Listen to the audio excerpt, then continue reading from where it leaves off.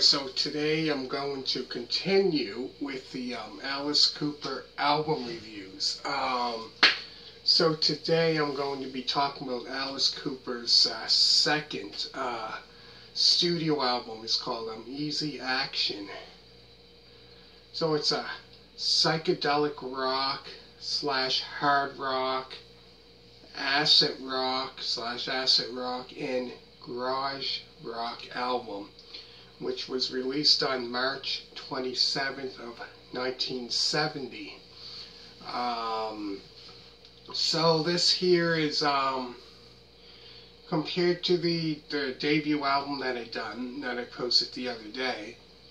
Um, this one here is more kind of I find this um, album here more heavier than um, than the debut album.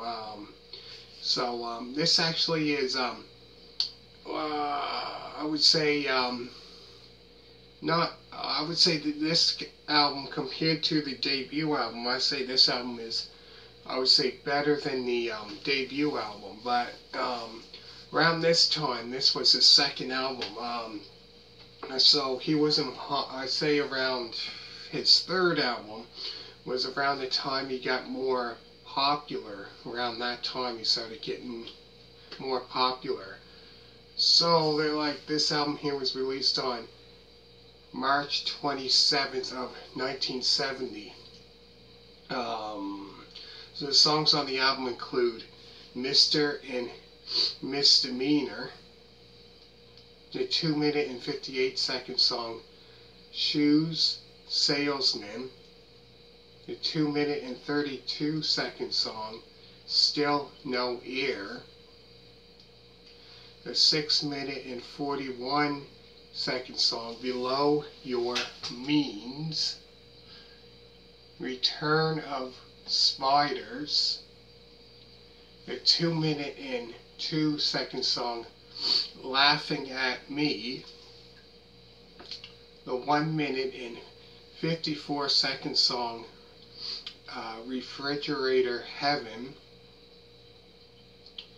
um, Beautiful Fly Away, and the very last song on this album is the 7 minute and 36 second song, Lay Down and Die Goodbye. Um, so I found this album here, a lot of short songs on this album. Um, but um, this album here actually is like I said, it's not it's not as not their uh, best album. Um, I would have to say, you know, not their. But I'd say until their next album came out, that's when they kind of became more like uh, more popular. Um, around the time when that came out. Um, but this album here, I have to say, compared to the other one, this album here is probably a little bit better um, than the other one. Um, it still has that psychedelic uh, style to it, psychedelic, you know, compared to the other, the other one, the debut album, also was kind of like that. Um, so, um, yeah, it's it's um, not a bad, bad, um, bad album. Um,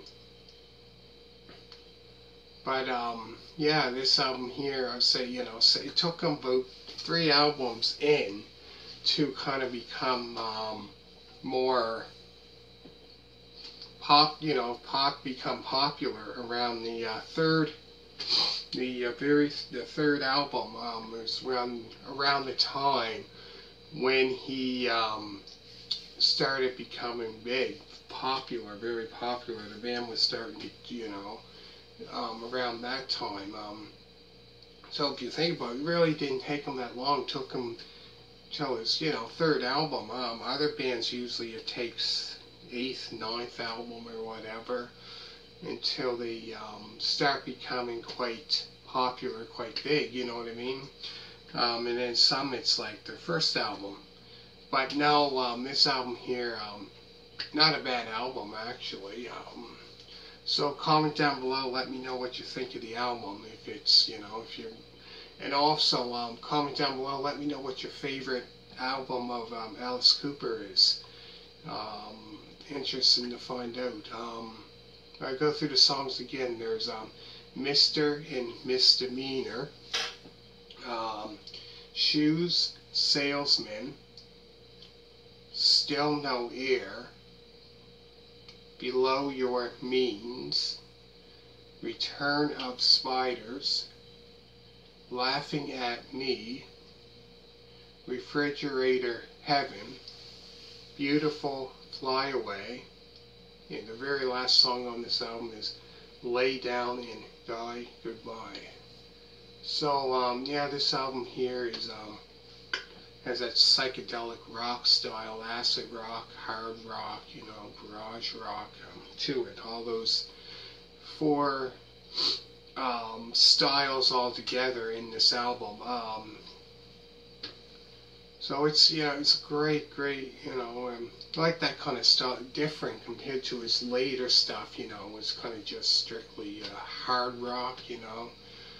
Um, but yeah, this is you know his early second album, right? You know. Um, but anyways, um, let me know what you think of this. Give this a thumbs up. Also check out Alice Cooper. I did one not the uh, not long ago, the other day it was. Um, which I posted, yeah, which was his, um, it would be his debut album. Um, Alice Cooper's debut album is called Pretties for You. So um, if you're just watching this video right now, uh, make sure to uh, check that one out after you're done watching this one.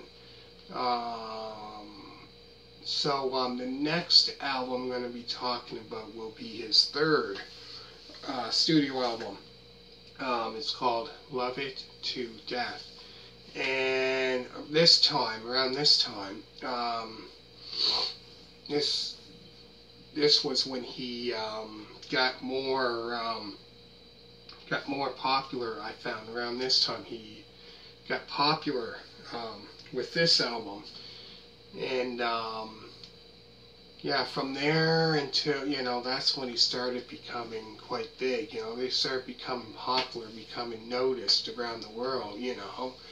Um, but the first two albums, um, not so much, you know, but that was, you know, those two albums there weren't his best albums. Um, but they're, you know, not bad albums. Um, but yeah, this one here was when he started breaking out, when he started when they started becoming more, the band started becoming more popular, um, I think around the world, you know, they started becoming quite big. So um, that's the next one I'm going to be talking about. So, I always say, uh, give this a thumbs up, comment down below, and um, hope you uh, like this video, and um, thank you for watching, and uh, bye. Oh, make sure to put a thumbs up, and uh, always remember to subscribe, and uh, check out other album reviews um, by um, if you like the band Chicago, check that out, or Bob Seger. Um, and um, yeah, so many more videos. So give this a thumbs up, uh, comment down below. Always remember to subscribe. All you people that subscribed to me so far, thank you very much, and uh, bye.